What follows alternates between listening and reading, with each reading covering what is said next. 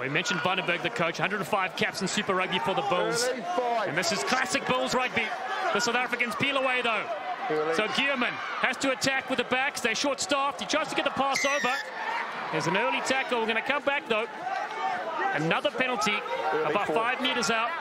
This time Scott Green's able to locate the mark. His eyes are working.